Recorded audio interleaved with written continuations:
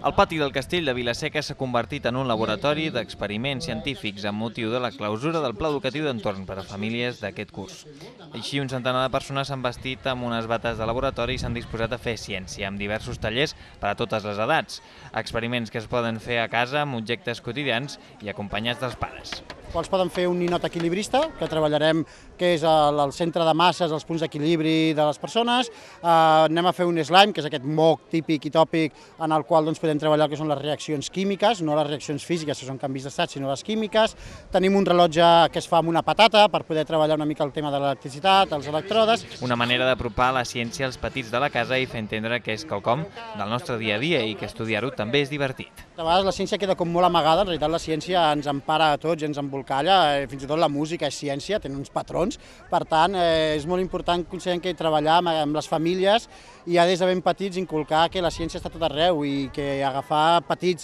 científics ja des de, des de ben joves. Amb ciència, doncs, s'ha tancat el curs 2018-2019 del Pla Educatiu d'Entorn per a famílies de Vilaseca, amb el qual s'han dut a terme una cinquantena d'activitats, amb clubs de lectura, música, cinema, espectacles familiars i activitats amb el medi natural.